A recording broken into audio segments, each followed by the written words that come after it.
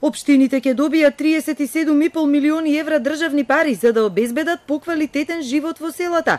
Денеска 17 градоначалници добија решенија за поддршка на руралниот развој, но откако ќе ги склучат договорите кон крајот на годинава, првично ќе земат по само 20% од парите како аванс, а другите дури откако ќе ги завршат проектите по 3 години преку платежната агенција.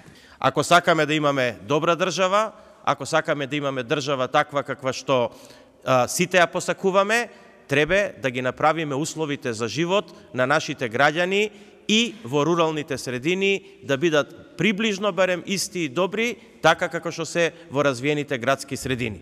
Опфатени се сите општини преку 202 проекти, а целта е Македонија да се направи земја без кал.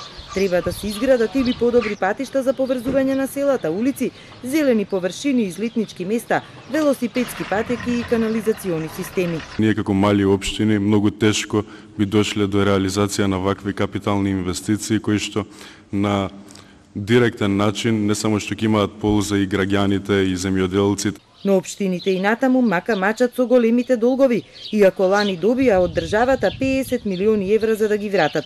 Делумно велат се раздолжиле, но имаат уште многу за плаќање. Еден од должничките рекордери Охрид должел 26 милиони евра, од владата добил 8.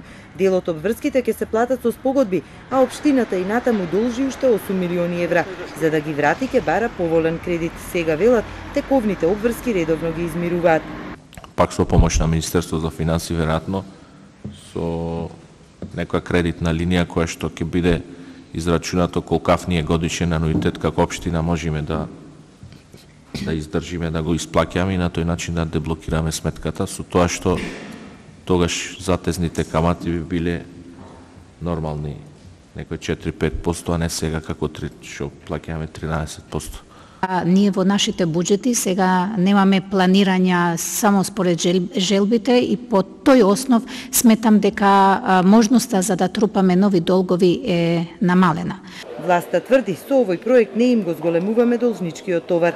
Со овие проекти не е целта на владата да ги уште повеќе задолжи општините. Овие средства за нивните проекти од буџетот на Република Северна Македонија преку агенцијата наменски ќе се исплатат на општините 100% во висина на реализираните трошоци. Според вице-премиерот Андјушев, долговите на општините не се зголемуваат или се отплаќаат или во најмала рака стагнираат. Дали ќе има нови средства за нив ќе зависи од тоа дали ова ќе се одобри со ребалансот на буџетот.